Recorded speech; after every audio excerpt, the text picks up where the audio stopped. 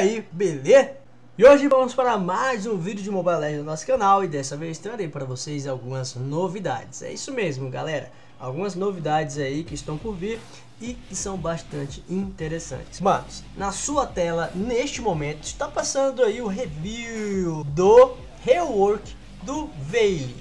É sim, galera, ele vai mudar e creio que para melhor. Gostaria de saber a opinião de vocês, já vai deixando o like para fortalecer e não esquece de se inscrever se não for inscrito para acompanhar as próximas lives e vídeos do canal. Lembrando que estou fazendo live em quatro plataformas simultâneas todos os dias. Mobile Legends, Garena Drift Racer e também Free Fire aí para vocês na Anime TV, Streamcraft, Twitch e YouTube. Tranquilo? Os links estarão aí na descrição desses canais e fiquem à vontade para seguir. Então vamos falar um pouco aqui desse rework, né, mano? Bom, eu vou deixar na tela todas as habilidades novas dele e a tradução para que vocês possam ver as mudanças com melhor qualidade. Tranquilo? Dá uma pausa aí, bacana, e dá uma ledinha aí se for de seu interesse para poder fortalecer essas informações, beleza? Leather, hope I feel better. They say that pain is just a part of the mind. I swear that I'm fine, I know that she used to be mine But things change with time, I think I'm alright. My thoughts take my mind and twist like my spine. I look so alive, but I'm why don't you just take me back again. I always wanted to be more than friends. I never wanted us to ever end again.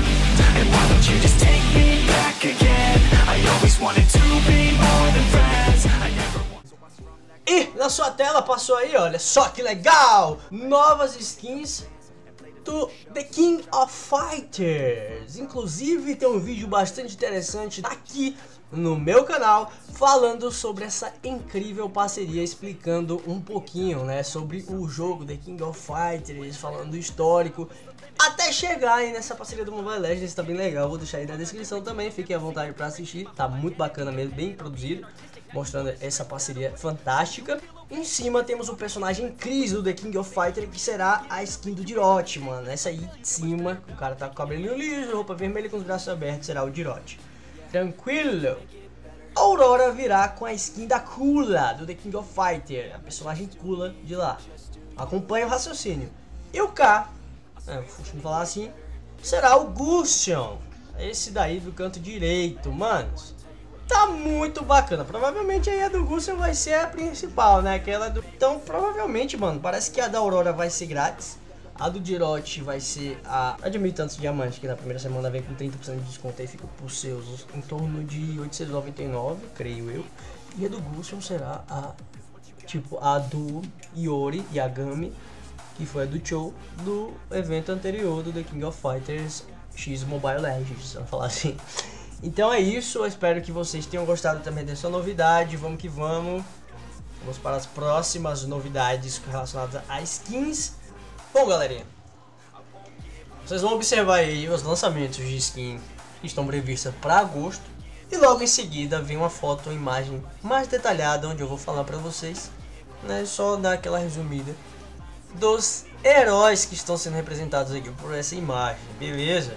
Olha lá, Dia 1 saiu hoje, 1 de agosto, a skin membro estrela do Cho, uma skin elite aí pertencente ao Beleric, nosso tanque aí fantástico que parece um Bulbasaur em sua essência. Essa skin está maneiríssima, está presente lá, consta na loja de membro estrela, dá uma conferida lá se você. Creio que tenha passado despercebido, porque também ao verificar eu não tinha constatado essa nova skin, mas está muito bonita, né? Para quem joga de Beleric, vale muito a pena ele que conta só com a Recolor atualmente. Temos aí uma skin maneiríssima do Uranus para vir aí de roleta, skin épica e sensacional. Videogame Dominator, a skin do Uranus. A skin do dia 7 será do Tamus, nosso soldado tancudão. Liquid Fire, muito bonita também. Skin Elite, tá bonita essa skin, hein, mano. Liquid Fire, meu Deus do céu. Dia 9 temos o lançamento do nosso novo herói, nosso novo soldado X-Borg. Muito bom herói também, tem um review aí no meu canal e tá muito bom. Vou disponibilizar o link desse review na descrição aí, quem quiser conferir para ver como é que ele tá forte, tá muito legal, muito divertido de jogar. Com sua recola, dia 9 também é um lançamento, obviamente, Blue, a Blue Storm. Né? Uh, dia 9 teremos uma skin especial, a Vulcan, do nosso querido Lapu Lapu, como diria a narradora aí nos Pix e Bans das ranqueadas. Dia 14, uma skin elite aí da nossa querida Chang'e. Muito bonita também, Crimson Moon. Acho que é isso o nome. Esse nome tá fantástico, mano. Só skin maneiríssima. Temos aí a ressalva nessa outra foto aqui, que dia 22 de agosto será lançada a skin que eu já falei The King of Fighters do Dirot. E no dia 23, a skin Zodiac da nossa querida Odette, Beautiful Odette. Olha só que legal. Temos aí a primeira e segunda opção do desenho lá e provavelmente vai ganhar a segunda opção, que tá muito bonita, tá muito mais bonita que a primeira, na minha humilde opinião. Deixa a opinião de vocês. Não esquece de deixar o like, hein? Ajuda bastante. Logo após mostrar essa skin aí da Odete, que será do signo de Virgem, é... vou deixar a tabela aí das skins Zodíacas, beleza? Algumas, obviamente, já foram lançadas e as outras que serão lançadas, né? Previsão dos signos e de heróis, estarão em sua tela aí né, pra galera que tem essa curiosidade, fique à vontade para olhar os signos e os heróis que estão relacionados. Beleza? Próxima imagem, próxima skin prevista, acreditem se quiser. Não vou dar mais informações aí para não é, dar informação errada, mas será uma skin épica da Naná, manos. Finalmente, hein? E só tem skin show de projeto, mano. Que projetos bonitos, né? Temos aí quatro projetos para a nossa Naná. Que a galera acha que é Tron, mas é muito forte. Na Season 1, mano, ela é muito forte mesmo. A galera subia ranqueada com ela.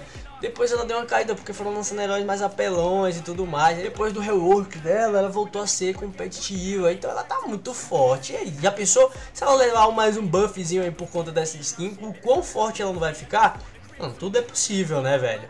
Vamos que vamos, próxima skin aí, a recolo da nova heroína Marcha, que sairá depois do X-Borg. Temos duas recolos aí, prevista para essa queridinha Marcha que também temos o review no canal. Só dá uma pesquisada aí, dá um Google aí e pesquisa é, review marcha canal como Pod Games, que é GG, manos. Vamos que vamos, próxima novidade em sua tela agora. Skin de Halloween da Angela. Olha que legal, velho. São vários projetos aí que estão um mais bonito que o outro. São três projetos aí muito bacanas de uma possível skin aí do Halloween para Angela. Então, opinem, o que vocês acharam? Qual que vocês acharam mais da hora? Eu acho um pouco provável a primeira aí que apareceu com a bonequinha ela toda esfarrapada, porque a Monton tem evitado algumas coisas assim, tá bem family friendly mesmo, né? Eu lembro que antigamente o Franco tirava um sangue do caramba com suas skills e com sua ultimate. Tem até uns vídeos antigos aí que eu tava assistindo aqui no canal mesmo que eu falei, nossa, velho, eu nem lembrava que o Franco arrancava tanto sangue, literalmente, dos personagens adversários. Era muito da hora, ainda mais com aquela skin açougueiro, bem bizarra, mas depois eles foram né, deixando bem cute. E particularmente eu não gostei não, mas é a vida, né? Temos aí as crianças que jogam e realmente não é necessário algumas coisas. Vamos que vamos! Próxima novidade em sua tela será skin épica, mano. Olha que fantástico esses projetos. Skin épica do Aldous, o Aurad, né, que mudou para Aldous. Duas skins aí fantásticas. Eu particularmente não saberia escolher qual é a melhor aqui porque eu gostei das duas, mano. Eles poderiam até aproveitar essa skin, né? Fazer uma diferenciada depois, uma futurista lançava essa época, sei lá, fazer uma temática, né? Pode ser um negócio egípcio também, a primeira, sei lá, mano. E aí lançar uma, depois a outra lá na frente com outro tema, ficaria bem bacana, né? Próxima novidade de skins, olha, temos uma sequência de 8 skins né, possíveis para lançamento. Temos aí na sua tela uma skin do Grok, Olha que legal, skin do Grok aí. Nossa, mano, que maneiro. Parece até a do Minotaurus, né? Que é que eu chamo de World of Warcraft. Que é a elite do Minotaurus que eu jogo muito, quando eu gosto muito daquela skin. Próxima novidade aí, Xangue. Outra skinzinha aí, maneiríssima. Prevista para ser lançado. Mas aí com a temática da natureza. Skin do Léo Mord. Muito da hora. Skin do Kaja. Mais um skin imprevista do Kaja. Que, que skin fantástica. E parece. Ah, o rosto dele tá parecendo com a parada da peste negra, né? Já gostei muito. Já tô fissurado nessa skin. Muito bonita, as asas estão muito da hora.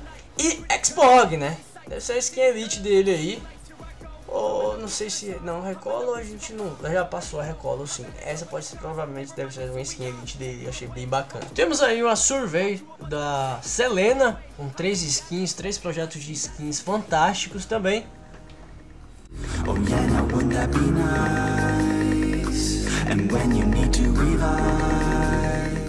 então é isso, galera. A gente vai ficando por aí. Espero que vocês tenham gostado das novidades. Desfrutem aí, comentem, compartilhem esse vídeo aí para fortalecer e mostrar essa novidade pra galera.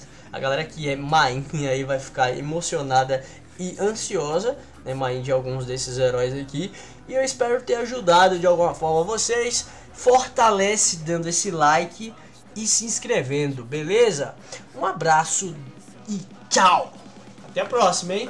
Live todos os dias. Hold up.